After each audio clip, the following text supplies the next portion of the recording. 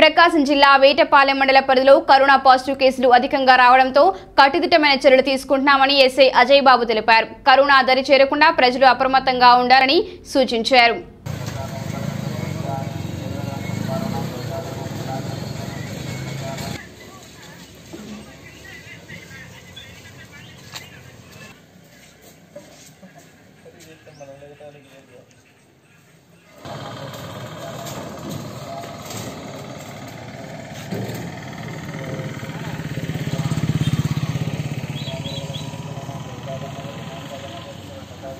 గత one week నుంచి మన వేటపాలెం పోలీస్ స్టేషన్ పరిధిలో రెండు కరోనా పాజిటివ్ కేసులు వచ్చినాయండి.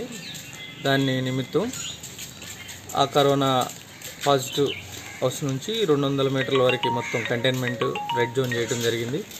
ఆ రెడ్ జోన్లో కూడా మొత్తం మూడు చెక్ పోస్టులు ఏర్పాటు చేస్తున్నాం రావూర్ రోడ్డు ఒకటి మన ఏటపాలెం సెంటర్ ఒకటి ఇక్కడ ఇక్కడ ఈ బజార్లో ఒకటి.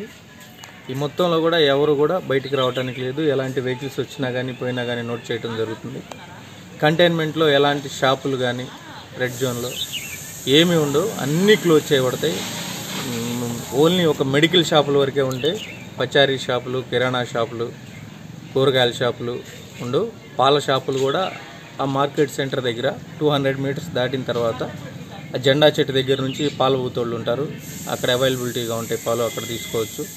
పచారీ షాపులు అంటే ఇక కూ- కూరగాయలు కూడా అటు జబ్బర్ కాలనీ రోడ్లో కుందేరు దగ్గర అక్కడ ఏర్పాటు చేయడం జరుగుతుంది.